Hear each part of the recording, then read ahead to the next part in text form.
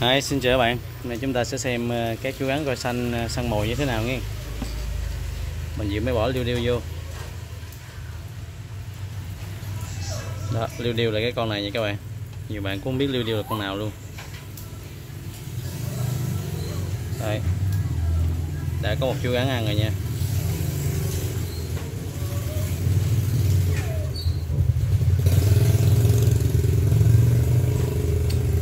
Bạn thấy đó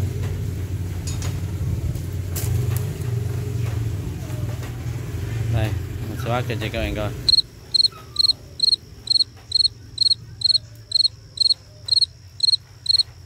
Ăn mà quấn rất là dữ dằn. Đấy. Nhiều bạn cứ hỏi mình là liêu điêu à, cái ngồi xanh ăn cái gì thì ăn con này nha. Các bạn cứ set up một cái hồ là có cây có chén nước. Rồi từ từ bỏ vô nó quen hồ nó sẽ ăn. Bây giờ chúng ta thấy là hai bé. Hai bé là đã ăn rồi nha các bạn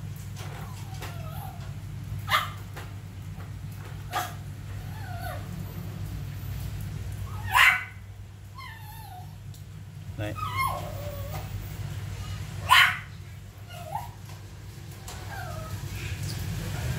Trứng ngôi xanh này là không có độc nha các bạn. Rất là dễ chơi. Bạn nào thích thì liên hệ với đặt hàng với bé shop nha các bạn.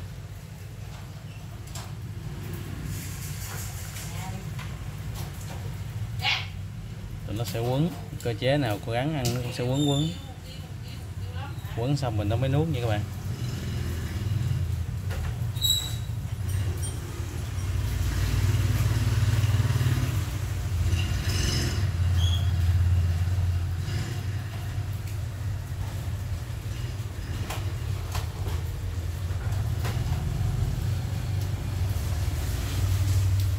Ok, bạn nào thích uh, chơi uh, loại gắn này thì liên hệ đặt với shop nghe.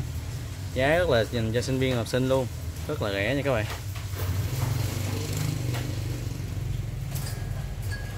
Đây. Lưu điêu là cái con nhỏ nhỏ này nha. Đấy. Rồi các bạn có thể thay bằng ờ, bắt thằng lằn trên tường tụi nó cũng ăn nha.